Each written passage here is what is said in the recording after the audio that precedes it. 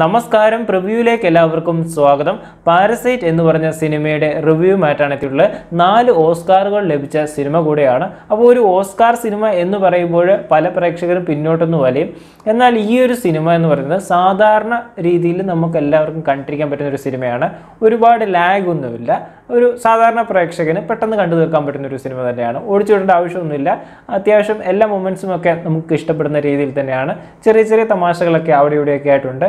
എന്നാൽ അത്യാവശ്യം ത്രില്ലിംഗ് ആണ്. അവസാനമൊക്കെ വരുമ്പോൾ അത്യാവശ്യം നല്ലൊരു ക്ലൈമാക്സ് ഒക്കെ വരുന്നതുകൊണ്ട് സാധാരണ സിനിമയായിട്ട് തന്നെ തോന്നും. ഒരു വളരെ സാധാരണമായിട്ട് കാണുന്ന ഒരാൾക്ക്.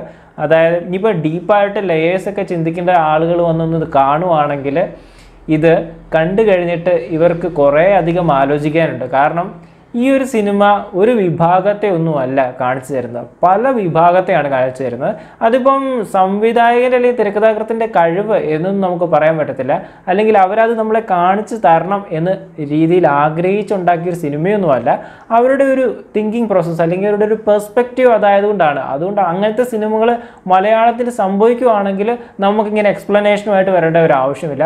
അപ്പോൾ അതിന്റെ ഒരു എക്സ്പ്ലനേഷനാണ് അപ്പം സ്പോയിലർ വരാൻ ചാൻസ് ഉണ്ട്. അതുകൊണ്ട് തന്നെ നിങ്ങൾ ഈ സിനിമ കണ്ടിട്ടുണ്ടെങ്കിൽ മാത്രം ഇനി ഇങ്ങോട്ട് കാണുക. പാരസൈറ്റ് എന്ന് പറഞ്ഞാൽ ടൈറ്റിൽ വെച്ച് തന്നെ തുടങ്ങാം. സ്വയമായിട്ട് ആഹാരം ഉണ്ടാക്കാൻ കഴിയാതെ മറ്റൊരു ജീവിയെ ആശ്രയിച്ച് കഴിയുന്ന ഒരു ജീവിയാണ് പാരസൈറ്റ് അപ്പം ഈ ഒരു സിനിമയിലോട്ട് വരുവാണെങ്കിൽ ആരാണ് പാരസൈറ്റ് എന്ന് നമ്മളോട് സംവിധായകൻ ചോദിക്കുകയാണ്. നമ്മളോടാണ് പ്രേക്ഷകനെ തീരുമാനിക്കാം ഇതിൽ ആരാണ് പാരസൈറ്റ് എന്ന് പറയുന്നത്.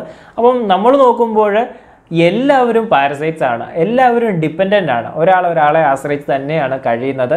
ആരും ഇൻഡിപെൻഡന്റ് ആയിട്ട് കാണുന്നതേ ഇല്ല. അപ്പോൾ ഇതിന്റെ അകത്ത് ധനികനായ പാർക്ക് ആണെങ്കിലും അല്ലെങ്കിൽ ദരിദ്രനായ കിം ആണെങ്കിലും ഇവർ അങ്ങോട്ടും ഇങ്ങോട്ടും ഒക്കെ ഡിപ്പെൻഡന്റ് ആണ്. ഇതിൽ രണ്ട് ഫാമിലിയാണ് കാണിച്ചു തരുന്നത് ദരിദ്രനായ കിമ്മിന്റെ ഫാമിലിയും അതുപോലെ തന്നെ ധനികനായ പാർക്കിന്റെ ഫാമിലിയും ഇപ്പോൾ ഈ കിമ്മിന്റെ ഫാമിലി അവരുടെ ആ ഒരു ചുറ്റുപാടെന്ന് പറയുന്നത് ഒരു റോഡിന്റെ താഴെയാണ് അവരുടെ വീട്. അപ്പോൾ ആ ഒരു ലെവലിൽ നമ്മൾ ചിന്തിപ്പിക്കുന്നുണ്ട്. അതായത് സാധാരണക്കാരനിലും താഴെയാണ് അവരുടെ ഒരു ചുറ്റുപാടെന്ന് പറയുന്നത്.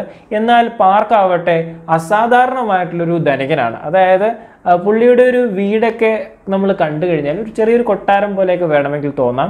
ഒരുപാട് സൗകര്യങ്ങളുള്ള ധനികനായ പാർക്കാണ്. അപ്പം ഇവർ ഈ ഒരു കിം ഫാമിലി അവിടെ പോയിട്ട് ജോലി ചെയ്യുമ്പോൾ അവരെ പോലെ ആവാനുള്ള ഒരു ആഗ്രഹമുണ്ട്. ആ ഒരു ആഗ്രഹം അമിതമാകുകയും അത് ഒരു ആവേശമായി മാറുകയും പിന്നെ അത് ഒരുപാട് കലഹത്തിലോട്ട് പോകുന്നതാണ് സിനിമ പറയുന്നത്. ഇതാണ് സാധാരണ കാണുമ്പോൾ മനസ്സിലാവുന്ന ആ ഒരു ലെയർ ഇനി വേറൊരു ലെയർ പറയുവാണെങ്കിൽ സ്മെല്ലിന്റെ കാര്യം പറയേണ്ടി വരും. ഇതിനകത്ത് ഒരുപാട് സ്ഥലത്ത് സ്മെല്ലിന്റെ കാര്യം പറയുന്നുണ്ട്. അതായത് കിമ്മിന്റെ ഫാമിലിക്ക് അവർ കഴിയുന്ന ഒരു ചുറ്റുപാടിന്റെ ഒരു സ്മെല്ലുണ്ട്. അത് പാർക്കിന് ഒരിക്കലും ഇഷ്ടപ്പെടുന്നില്ല. അത് ആ പുള്ളി പറയുന്ന പുള്ളി എപ്പോഴും പറയുന്നൊരു കാര്യമുണ്ട്. ഞാനൊരു വര വരച്ച് കഴിഞ്ഞാൽ അതിന്റെ ഇപ്പുറത്തോട്ട് വരാൻ പാടില്ല എന്ന് പറഞ്ഞ് ക്രോസ് മൈ ലൈൻ എന്ന് പുള്ളി ഒരു മൂന്നാൽ അവസരങ്ങളിൽ പറയുന്നുണ്ട്. അപ്പം അതായത് ഈ ദരിദ്രന്മാർക്ക് അവർക്കൊന്നും ഈ ഒരു ലൈനൊന്നുമില്ല. അവർക്ക് പ്ലാനേ ഇല്ല. അതും പറയുന്നുണ്ട് പ്ലാൻ ഇല്ലാതാവുന്നതാണ് ഏറ്റവും നല്ല പ്ലാൻ എന്നാണ് നമ്മുടെ കിമ്മ് പറയുന്നത്. പക്ഷേ ഈ ധനി ധനികരായിട്ടുള്ള ആളുകൾക്ക് അവർക്ക് അവരുടേതായിട്ടുള്ളൊരു ലൈനൊക്കെ ഉണ്ട്. അവർക്ക് പ്ലാൻസ് ഉണ്ട് ഒരുപാട് കാര്യങ്ങളുണ്ട്. അപ്പോൾ ഈ ക്രോസ് മൈ ലൈൻ എന്ന് പറയുന്ന എന്റെ ആ ഒരു ലൈൻ ഇതുവരെ കിമ്മ് മറികടന്നിട്ടില്ല. പക്ഷെ അവന്റെ സ്മെല്ല് മറികടന്നെന്നാണ് പറയുന്നത്.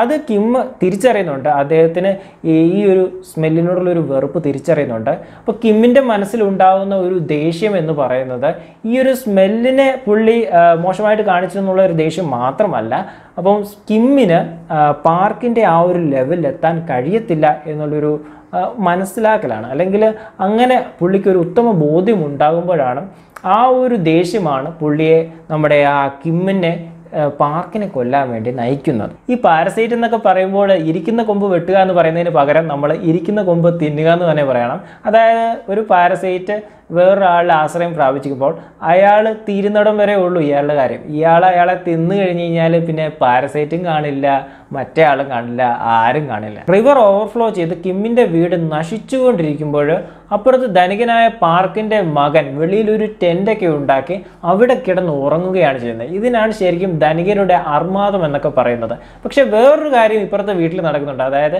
കിമ്മിന്റെ മകൾ വളരെ വിലപിടിപ്പുള്ള ഒരു സിഗരറ്റ് അല്ലെങ്കിൽ അതിന്റെ പാക്കറ്റ് എടുത്തിട്ട് അതിൽ നിന്ന് ഒരു സിഗരറ്റ് എടുത്തിട്ട് പുകയ്ക്കുന്നത് ഒരു സീനുണ്ട്. അതൊരു കിടിലൻ സീനാണെന്ന് പറയാം. ആ ഒരു സീൻ പറയുന്നതെന്ന് പറയുന്നത് ആ ടൈമിലും അത്തരം ഒരു അപകടം ഉണ്ടാകുന്ന സമയത്തും ധനികരുടെ ആ ഒരു സുഖത്തിലോടുള്ള ഒരു ആഗ്രഹം അങ്ങനെ ജീവിക്കാനുള്ള ഒരു അമിത ആഗ്രഹം ഒരിക്കലും ഇവരെ വിട്ടു പോകുന്നില്ല. അതാണ് എല്ലാ കാര്യങ്ങൾക്കും കാരണവുമാവുന്നത്. ഈ ഒരു സിനിമയിലെ എല്ലാവരും നായകന്മാരും നായകന്മാരും ഒക്കെ തന്നെയാണ്. അതിലെ ചില കഥാപാത്രങ്ങൾ നമ്മളാണോ എന്ന് തോന്നിപ്പോകും. ആ രീതിയിലാണ് കഥാപാത്ര സൃഷ്ടിയൊക്കെ നടത്തിയിട്ടുള്ളത്. അപ്പോൾ വില്ലൻ ആര് എന്നൊരു ചോദ്യം ഉണ്ടാകും അതിന് നമുക്ക് ഇതിന്റെ ഒരു പ്രശ്നങ്ങളുടെ തുടക്കം എവിടെയാണെന്ന് തന്നെ അന്വേഷിക്കണം. ആ ഒരു സ്റ്റോൺ ഇവരുടെ വീട്ടിൽ കൊണ്ടുവന്നിട്ട് ആ സ്റ്റോണിനെ കുറിച്ച് ഇവർ പറയുന്നുണ്ട്. അതായത് ഇത് ഭാഗ്യം വിതയ്ക്കുന്ന സ്റ്റോണാണ് അല്ലെങ്കിൽ സമ്പത്ത് കൊണ്ടിരുന്ന ഒരു സ്റ്റോൺ ആണെന്നൊക്കെ പറഞ്ഞാണ് ആ ഒരു സ്റ്റോൺ കൊണ്ടിരുന്നത് ഈ പ്രശ്നങ്ങളുടെ തുടക്കം ഉണ്ടാകുന്നത് ഇവിടുന്ന് തന്നെയാണ്. ഈ ഒരു സ്റ്റോണുമായിട്ട് നമ്മുടെ കിമ്മിന്റെ മകൻ കെവിൻ താഴോട്ട് പോയിട്ട് ഒരു പീസ് സമാധാനത്തിന്റെ പരമായിട്ട് ഈ സ്റ്റോൺ കൊടുത്ത് എല്ലാ കാര്യങ്ങളും പറഞ്ഞ് ശരിയാക്കാമെന്ന് പറഞ്ഞ് പോകുന്നതാണ്. പക്ഷേ അവരുടെ പേഴ്സ്പെക്റ്റീവിൽ അതായത് ആ താഴെ കിടക്കുന്നവരുടെ പേഴ്സ്പെക്റ്റീവിൽ ഒരു ആയുധമാണ് ഈ സ്റ്റോൺ. അപ്പോൾ ഈ സ്റ്റോൺ ഉപയോഗിച്ച് കെവിനെ തലക്കടിക്കുകയാണ്. അവിടെയാണ് എല്ലാം തുടങ്ങുന്നത്.